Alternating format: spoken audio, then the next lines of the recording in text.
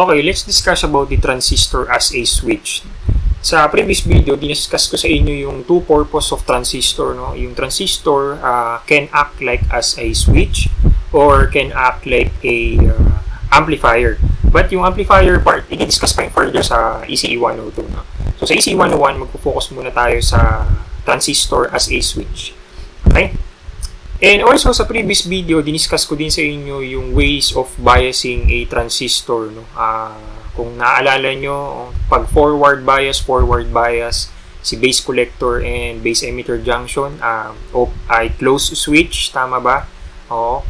And if parehas reverse bias yung dalawang junction, uh, open. But this video, i-discuss natin uh, uh, further paano ba, ano ba yung mga, uh, saan ba maglalagay ng trigger voltage no, in order to to trigger the transistor as an as a open or as a closed switch no? Or mga resistor no? Saan natin ilalagay yung mga yun no? Okay let's start muna sa open uh, switch. Okay usually kasi ang transistor uh, naka-common emitter configuration no, in order to use it as a uh, switch no?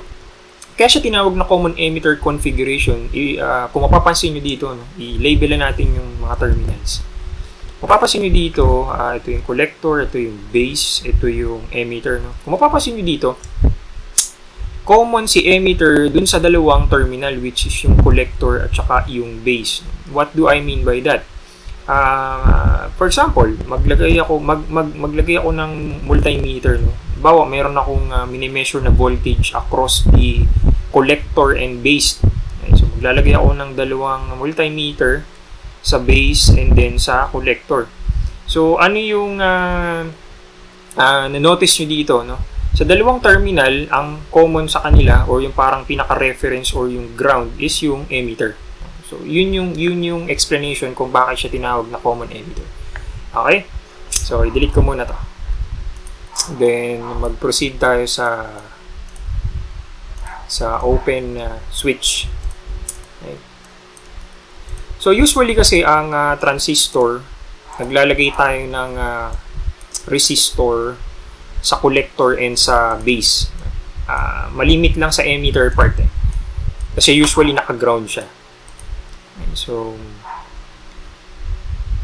balik natin sa green. Yung power source natin, lalagay natin sa collector. Okay. We'll call it as VCC.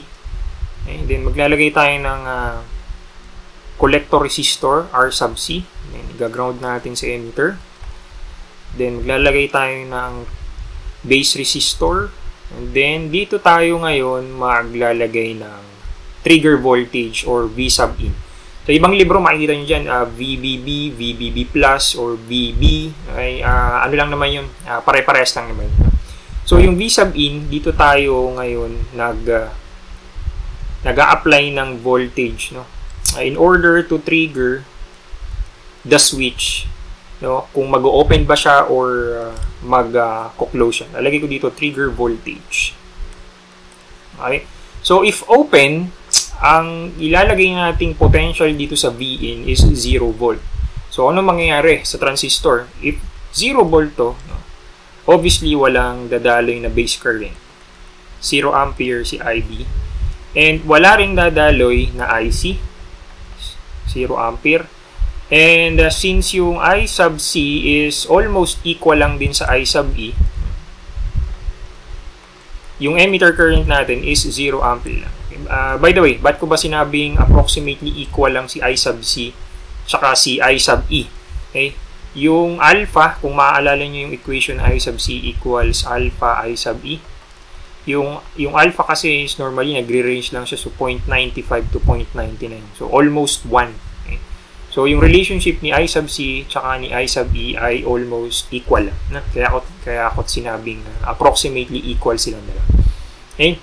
So pagka ganito, ang equivalent circuit ng uh, transistor ko pag open switch is parang ganito. Ito si collector, naka-open. And then, si emitter, ayun. So, lalagay ko dito, no? I sub C equals 0 ampere. And then, lalagay lang ako dito ng parang ito yung trigger voltage natin. V in equals 0 volt. So, pagka ganito yung transistor natin, yung transistor ko is in cut-off region. Lagay ko dito. Cut-off cut-off region. It's because cut-off. Walang dumadali na kuryente. Open. Switch. Cut-off region. And yung condition natin, no, uh, para masabi natin yung transistor is naka-open or or naka-off switch or naka-cut off. Okay. Yung VCE natin ay, uh, tingnan natin, no? yung VCE is parehas lang ng VC minus BE. Balik ko yung uh, power source natin. Dito yung VCC. So, sinabi ko rin ata yun sa, sa previous video na pagka yung resistor is uh, walang dumadaling na kuryente sa kanya is parang short wire lang. So, yung VC dito is parehas lang ng VCC. Nakakonekta lang siya dun sa source. So, si VC papalitan ko, gagawin kong VCC. Minus ang VE is nakakonekta lang sa ground, so 0 volt to. So, yung VC's, VCE natin is equal sa VCC pag naka-cut off region. And then, yung IC natin is 0 ampere. So, ito yung dalawang condition para masabi natin na si transistor ay naka-open or off or naka-cut off region si transistor. So, ito yung dalawang yung uh, tatandaan. Na? VCE is equals to VCC or uh, sa libro makikita nyo dito, makikita nyo is VCE uh, cut off. Uh, cut off. Ayan. Equals VCC and then IC equals 0 ampere. Okay? So, yun. Uh, proceed naman tayo ngayon sa close switch.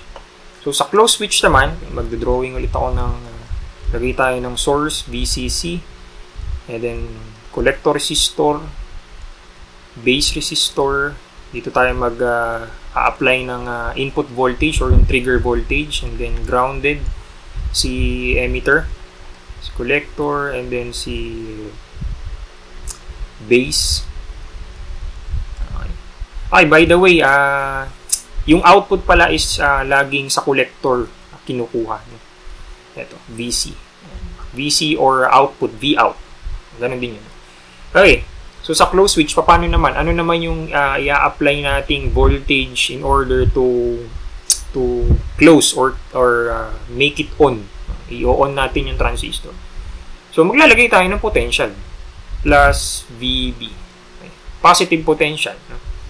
So, pag naglagay tayo ng, ng, ng higher, ng, ng, ng, ng, ng potential, ng positive potential, obviously, mayroong dadali na kuryente dyan. IB. Wait lang. IB. May dadali na kuryente dyan. IB. And then, merong dadaloy dito na current na I sub C. So sa libro makikita nyo uh, yung I sub C is merong sat. Ibig sabihin nun, saturation. Ibig sabihin, uh, paano ba pag sinabi ng saturation? Uh, saturated, maximum si, si current. Okay?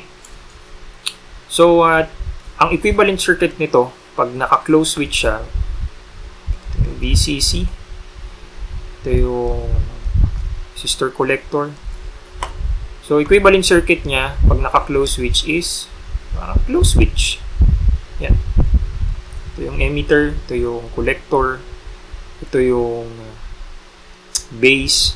Dito tayo nag-apply ng Vin equals positive potential. Okay? So, ano yung condition no, ng, uh, ng close switch? So, sa VCE ay obviously, parehas lang sila ng potential. Tama ba ako? Kasi wire lang to eh, straight wire lang. So magkakonekta lang sila sa isa't isa. So ang potential nito ay 0 volt. Okay. And then si collector current ay maximum ay lala, sa sa equal sign pa pala. So yung collector current natin ay sub C ay equal sa IC saturated or SAT. So ngayon, uh, with these two condition, yung saturation ko, ay, or, nasabi ko na, no, yung transistor is nasa saturation region. Okay. Saturation re, oops, region. Okay. And um, ang ang ang saturation current kasi ng transistor is iba-iba yan, depende sa manufacturer. Baka mag baka baka mag nagtataka kayo, sir yung bang saturation current ng ng transistor o yung yung maximum current na kayang ilabas ng transistor ay pare-parehas lang ba ng value? Hindi. Eh depende yan sa manufacturer and depende yan sa sa brand ng uh, ng transistor. Iba-iba. Okay? And usually makikita naman yung sa schematic uh, ay uh, not schematic yung uh, yung pinaka parang list of uh, specification na nung uh, transistor. Okay So, ito lang yung mga kailangan nyo tandaan na condition na sa balikan natin. No? Pag open na uh, switch, uh, mag, wala tayong i-apply na potential, no? 0 volt lang sa base voltage. So, ang mangyayari, walang dadaloy na kuryente, IB is 0 ampere. And obviously, wala rin dadaloy sa collector and emitter current, 0 ampere. Kaya ang equivalent circuit niya is naka-open lang siya. Kung open siya, yung VC is nakakonekta lang sa VCC. Okay. So, yun yung uh, isang uh, condition, yung VCE na naka-cut off or sabihin naka-off si transistor, equal lang siya sa VCC and yung IC is, is equals to 0 ampere. No? So, cut-off region yun. Pag saturation region naman, or in short, or in other term, naka-close switch si transistor, yung condition niya is 0 volts VCE And then yung IC is naka-saturated or ibig sabihin naka-maximum current. Ibig sabihin yung nilalabas na, na, collector current ni transistor ay maximum. Okay? So, yun lamang uh, for now and uh, thank you for listening and God bless.